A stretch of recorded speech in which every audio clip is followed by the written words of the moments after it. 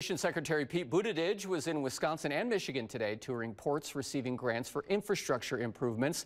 This is all part of a $17 billion package included in the bipartisan infrastructure law.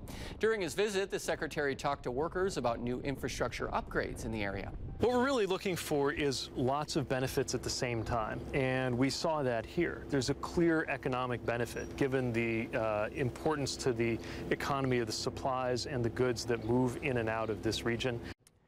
Buttigieg is on the short list to be Vice President Kamala Harris's running mate on the Democratic ticket.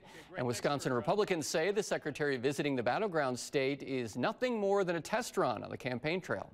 He flies in at taxpayers' expense into Green Bay and into Milwaukee in this state, just coincidentally, that happens to be one of the top seven target states in the whole country. This is not an accident that he is here, but he's an accident. He is an accident coming to town.